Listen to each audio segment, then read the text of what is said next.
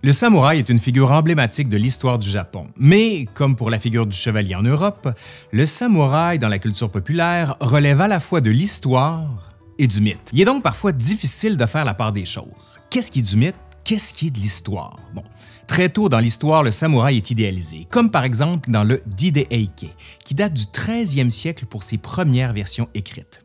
Aujourd'hui, manga, séries, films, jeux vidéo, de nombreux médias contribuent à plonger le samouraï dans une aura de légende. L'objectif de cette vidéo, celle que vous êtes en train de regarder là, c'est de présenter la figure du samouraï sous l'angle historique, uniquement. Voilà. Bon. Mais avant de commencer, je tiens quand même à vous signaler que j'ai travaillé avec le héros de l'histoire sur cette vidéo. Et d'ailleurs, il faut absolument aller voir ce qu'il fait. Mais sans plus attendre, on commence avec cette figure emblématique du Japon, le samouraï.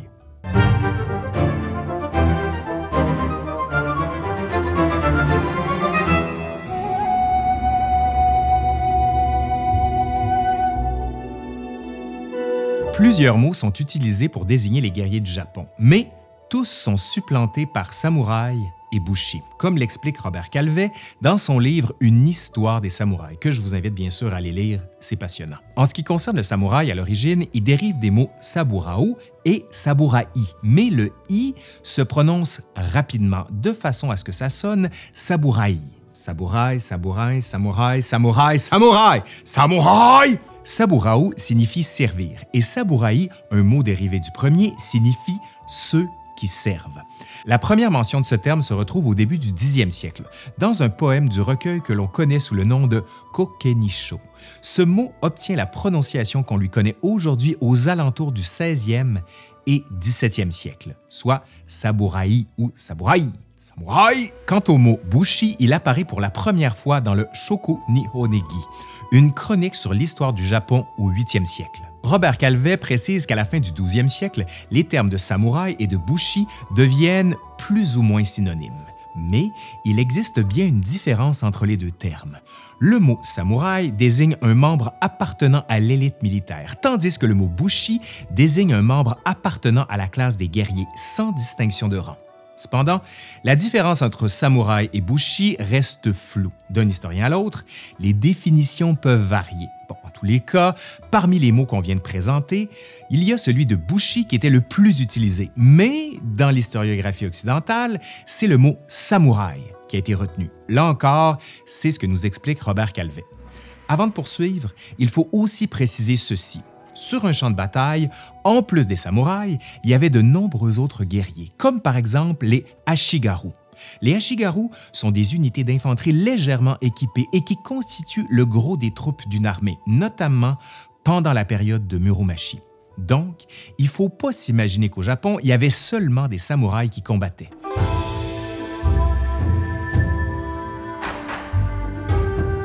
Maintenant, qu'est-ce que c'est précisément un samouraï? On va placer brièvement le contexte historique pour le comprendre. Le terme samouraï désigne un membre de l'élite militaire du Japon. C'est un guerrier combattant le plus souvent à cheval, mais peut aussi combattre à pied. Il utilise divers équipements, dont l'arc et le sabre, mais on va en reparler plus tard, vous en faites pas. Le samouraï est au service d'un seigneur. Le samouraï qui n'a pas de seigneur est considéré comme un ronin. Avant l'apparition des samouraïs proprement dit, dès l'époque de Kofun, entre le 3e et le 4e siècle de notre ère, il y a une classe aristocratique de guerriers à cheval. On peut considérer que c'est pendant la période de Heian, qui s'étend de 794 à 1185, que vont peu à peu apparaître les premiers samouraïs. Dès le 9e siècle, on retrouve des cavaliers qui excellent dans le maniement de l'arc. Ces cavaliers présentent de nombreuses caractéristiques communes avec les samouraïs, qui sont au départ des archers montés. L'usage récurrent du sabre n'intervient que plus tard. Comme on l'a dit quand on évoquait l'étymologie du mot samouraï, sa première mention date du 19e siècle, donc pendant la période de Heian. Cette évolution dans le vocabulaire semble être la manifestation d'une évolution dans les faits. Progressivement, la classe des guerriers va s'imposer et s'emparer du pouvoir, ce qui a pour effet de grandir l'influence des samouraïs. La classe des samouraïs va se maintenir jusqu'à la période d'Edo. Elle s'étend de 1603 à 1868. Comme il s'agit d'une période de paix, ça suppose que les samouraïs ne combattent plus. Ben, ça pose donc la question de leur rôle. Que faire de cette aristocratie militaire qui représente environ 5% de la population totale du pays aux alentours de 1600? En sachant que l'estimation haute de cette période pour la population est de 20 millions d'habitants et l'estimation basse est de 12 millions d'habitants, ça ferait donc entre 1 million et 600 000 samouraïs. C'est donc une part non négligeable de la population que le shogunat doit gérer pour éviter de revivre les instabilités de la période de Muromachi. Pour faire face à cette situation, à partir du moment où Tokugawa Ieyasu devient shogun, il y a une politique qui se met en place pour convertir les samouraïs en fonctionnaires. On passe du sabre à l'écriture, en fait. Plus compliqué que ça, mais vous avez compris. Ainsi, la fonction guerrière diminue grandement. Les samouraïs sont encouragés à s'engager dans la voie des lettres et de la culture. Robert Calvé nous explique pour résumer que, et je le cite, Les nouvelles fonctions des samouraïs vivant en milieu urbain et dans un climat pacifié sont d'ordre administratif, fiscal et judiciaire. Pourtant, alors même que les samouraïs ne combattent plus, les valeurs guerrières infusent la société japonaise. Si dès la période de Heian se développe un idéal guerrier, c'est pendant la période d'Edo qu'il prend le nom de Bushido, que l'on connaît aujourd'hui, et c'est pendant cette période qu'il s'organise clairement. Vous en faites pas, on va en reparler du Bushido. La période d'Edo se termine en 1868 avec la restauration impériale de Meiji. En 1871, les domaines seigneuriaux sont remplacés par des préfectures. L'année suivante, le système de la conscription est remis en place. Les samouraïs perdent ainsi leur monopole de la fonction militaire. En 1876, les samouraïs n'ont plus le droit de porter le sabre. Hmm. Bref, toutes ces mesures visent à abolir les privilèges de cette classe. En 1877 a lieu la rébellion de Satsuma. Une partie des samouraïs n'approuve pas les décisions du gouvernement concernant leur statut et la modernisation. Mais cette rébellion est matée par le pouvoir impérial qui envoie son armée de conscription combattre ces samouraïs. C'est la fin de la classe des samouraïs, mais l'héritage perdure. Tout d'abord parce que la fin des samouraïs ne signifie pas la disparition des hommes qui portaient ce titre. Ils sont toujours là et plusieurs d'entre eux occupent des places importantes, notamment dans l'administration. De nombreux anciens samouraïs rejoignent des écoles militaires et deviennent des officiers dans l'armée impériale. Robert Calvé écrit, et je le cite, alors même que les castes ont disparu et que le statut de samouraï n'existe plus, le Code civil de 1898 témoigne cependant d'une certaine extension des valeurs qui étaient celles des samouraïs à l'ensemble de la société japonaise. Il ajoute, et je le cite toujours, le Bushido est érigé comme un ensemble de codes devant s'appliquer à l'ensemble de la population japonaise. L'utilisation de cet héritage ne se fait pas sans dérive, notamment dans les années 1930 avec la montée du nationalisme et du militarisme. Nous ne sommes plus dans l'histoire des samouraïs, malheureusement. Ça serait une autre vidéo, tout ça, bien sûr. Revenons maintenant, si vous le voulez bien, sur l'histoire de ce fameux code d'honneur du samouraï. Tout d'abord, le Bushido constitue un idéal et il ne faut pas imaginer que chaque samouraï se comporte en suivant parfaitement cet idéal. Ce sont des guerriers. Le plus souvent, seule la victoire et les intérêts comptent. De plus, il ne faut pas imaginer un code strict et immobile. Le Bushido a évolué petit à petit au fil des siècles. Tout comme l'idéal chevaleresque, c'est un sujet d'étude compliqué parce que l'histoire et la légende se mélangent souvent, comme c'est parfois le cas, voire même souvent le cas. Enfin. Bon, cela étant, depuis quand ce code existe et qu'est-ce que c'est qu'exactement que le Bushido? La genèse du Bushido commence pendant la période de Heian. Durant cette période, il ne porte pas encore le nom de Bushido et il n'est pas ce qu'il sera par la suite au 17e siècle. À partir du 10e et du 11e siècle, plusieurs appellations désignent ce qui deviendra plus tard le Bushido. Il y a par exemple la voie de l'homme d'armes, dit Tsuwanomo no Mishi en japonais. Il y a aussi la voie de l'arc et du cheval, dit Kyuba no Mishi. Les samouraïs sont alors avant tout des cavaliers archers, ce qui explique le nom de cette voie. C'est ce que l'on découvre notamment dans le Dide Seikie, un monogari, un récit qui raconte la lutte qui oppose le clan Taira au clan Minamoto au 12e siècle. Au départ, c'est une œuvre orale, mais dès le 13e siècle, on commence à voir apparaître des versions écrites. Dans ces versions écrites, on découvre déjà une idéalisation de la figure du samouraï. Ces voies peuvent être considérées comme les ancêtres du Bushido. Ce sont au départ plutôt des règles concernant l'entraînement et le combat réel. À partir du 13e siècle, d'autres dimensions s'ajoutent. Cela devient aussi un code moral. La fidélité est grandement valorisée. D'autres dimensions s'ajoutent encore, mais c'est pas évident d'en faire une stricte chronologie. Il faut aussi signaler que le code du samouraï est influencé par le bouddhisme zen, le shinto et le néo-confucianisme. Le bouddhisme zen est utile à la formation de l'esprit du samouraï. Il contribue à ce que le samouraï reste serein même face à la mort. Le shinto valorise la loyauté et l'attachement à la patrie. Le néo-confucianisme apporte une dimension intellectuelle à tout ça. Ce n'est qu'au 17e siècle, plus précisément aux alentours de 1616, dans un ouvrage qui porte le nom de Koyogukan, qu'apparaît pour la première fois le terme Bushido. Littéralement, ça signifie la voie du guerrier. Ce n'est aussi qu'à partir du 17e siècle que se structure et se conceptualise le Bushido. Nous sommes donc au début de la période d'Edo, ce qui signifie que la voie du guerrier prend la forme que nous connaissons le mieux que tardivement. Cela crée un biais d'appréciation. Le biais est d'autant plus important que la période d'Edo est une période de paix. Il y a une idéalisation du samouraï alors même qu'il ne combat plus. Le Bushido devient alors non seulement un code d'honneur, mais aussi un code éthique, un code de conduite, un ensemble de règles militaires et même un mode de vie, pour résumer. L'homme qui suit le Bushido s'engage à tendre vers un idéal physique et mental. L'accent n'est pas seulement mis sur les valeurs, les règles militaires et l'entraînement physique, mais aussi sur l'accomplissement spirituel, intellectuel et culturel. Plusieurs ouvrages ont contribué à l'élaboration du Bushido tel qu'on le connaît aujourd'hui. Citons par exemple le Gorin no Sho, que l'on connaît en français sous le nom de Traité des cinq anneaux ou Traité des cinq roues, écrit aux alentours de 1645 par Musashi. Citons aussi le Hagakure de Tsunetomo, rédigé au début du 18e siècle, mais révélé seulement au début du 20e siècle car il a été gardé secret pendant longtemps. Un ouvrage plus récent a grandement influencé notre regard.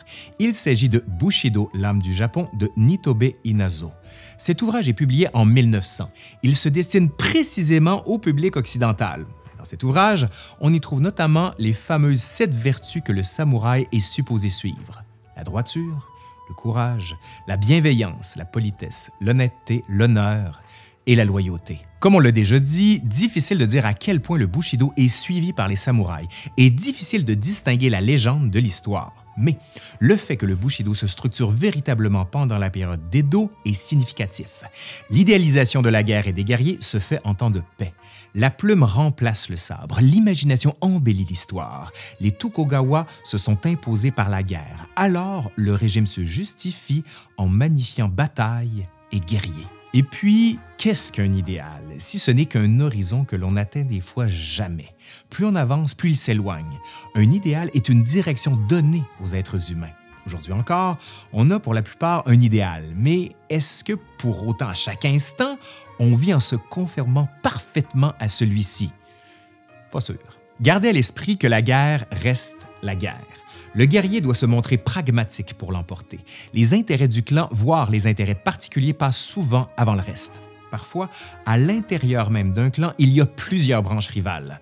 Dans l'histoire du Japon, plusieurs épisodes montrent qu'il y a eu des trahisons, alors même que dans l'idéal du samouraï, la fidélité est primordiale. Par exemple, en 1582, Oda Nobunaga, alors même qu'il domine pratiquement tout le Japon, est trahi par Akeshi. Nobunaga conscient qu'il ne peut pas contrer cette trahison et qu'il va être pris par l'ennemi, se fait seppuku.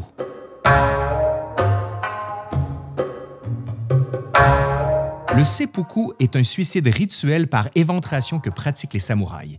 Il apparaît aux alentours du 12e siècle. Le seppuku évolue avec le temps. Il est interdit cependant en 1868. Lorsqu'un samouraï se sent déshonoré, il peut commettre le seppuku pour restaurer son honneur. Le plus souvent, ça fait suite à un échec militaire. C'est, comme le dit Robert Calvet, et je le cite, une façon honorable d'assumer un grave échec. D'autres raisons peuvent pousser un samouraï à commettre le seppuku. Ça peut être une punition qui l'oblige à le faire, ça peut aussi être pour accompagner un seigneur dans la mort, ou encore ça peut être pour payer une dette. La liste, bien sûr, n'est pas exhaustive, vous l'aurez compris. À partir du 17e siècle, le rituel est très précis. Il se fait en public.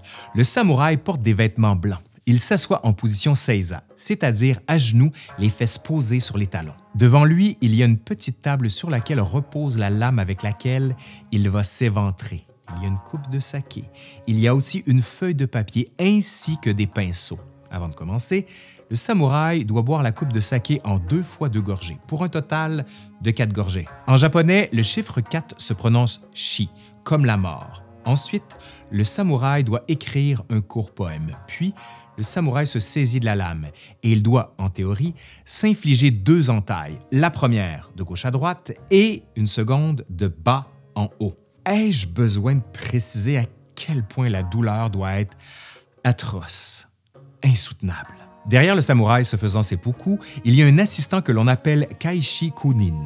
Cet assistant a pour rôle d'abréger les souffrances du samouraï. Pour ça, il doit lui trancher la tête, mais pas totalement. Il s'agit d'une décapitation partielle. La tête doit rester connectée au corps par un fin morceau de chair. En somme, le samouraï montre son courage en commettant le seppuku. Il fait face à la mort en s'infligeant une blessure mortelle et très douloureuse. Quand il a prouvé son courage, son assistant met fin à ses souffrances. L'honneur du samouraï est lavé.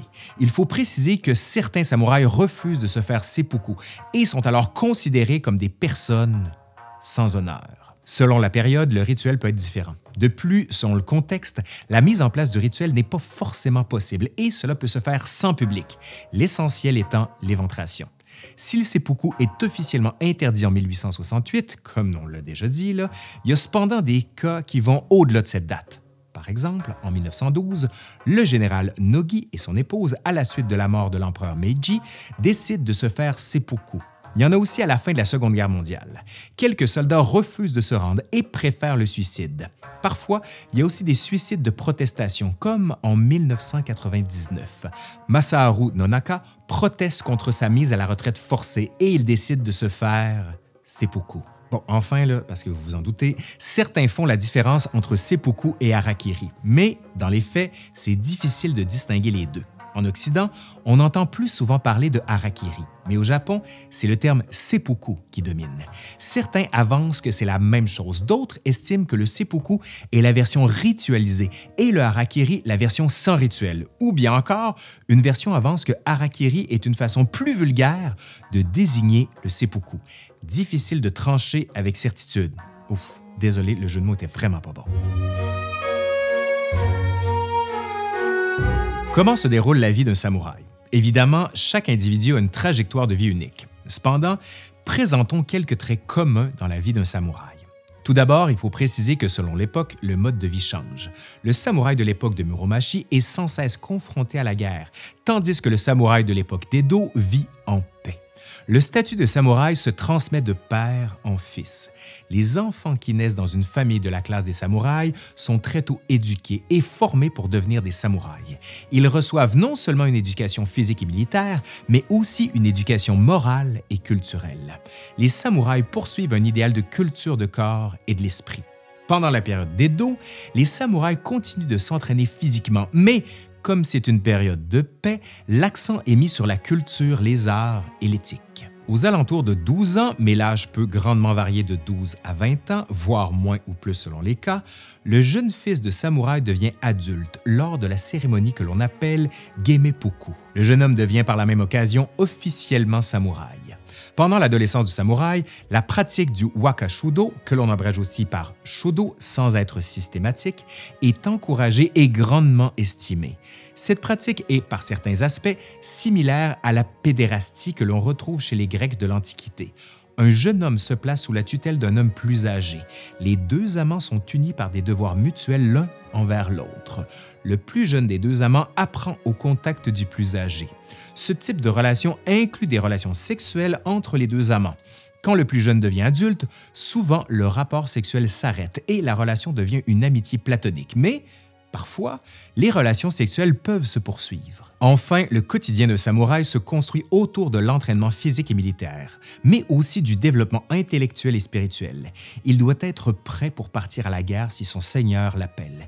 Il s'occupe de la gestion de son domaine s'il en a un. Il peut exercer un autre travail, comme celui de professeur si sa situation financière l'impose. Il faut préciser que, selon la période, tout cela varie. En période de paix, donc pendant la période d'Edo, les samouraïs occupent aussi des postes non militaires. Il faut aussi préciser qu'il existe des samouraïs très riches et des samouraïs pauvres. Ils n'ont donc pas le même train de vie, ils n'occupent pas les mêmes places et ils n'ont pas les mêmes préoccupations. Parlons maintenant de l'équipement du samouraï. Au départ, pendant la période de Heian, les samouraïs sont des cavaliers archers. Ainsi, l'arc yumi en japonais est l'arme privilégiée des samouraïs. Les samouraïs portent une armure pour se protéger. Pendant cette période, à partir du 10e siècle, c'est l'armure de type oyori qui domine. Elle pèse entre 20 et 30 kg et permet une bonne protection tout en conservant une certaine souplesse. Une autre armure plus légère, offrant une plus grande mobilité, apparaît dès le 11e siècle. C'est l'armure de type Domaru, qui pèse entre 10 et 20 kg. Plus tard, vers le 15e siècle, l'armure Domaru supplante l'armure Oyoroi, car les tactiques de combat évoluent. Il y a un plus grand recours à l'infanterie, ce qui nécessite des soldats moins lourdement équipés pour plus de mobilité. Aux alentours du 14e siècle, le sabre remplace l'arc comme arme de prédilection des samouraïs. Les samouraïs portent le daisho. Ce terme signifie littéralement grand petit. Ça veut dire que les samouraïs portent deux sabres, le plus souvent un katana et un wakizashi. Le katana a une lame de plus de 60 cm et le wakizashi une lame entre 30 et 60 cm. Si aujourd'hui on retient surtout le sabre, cela ne signifie pas que tous les samouraïs sont des experts de son maniement.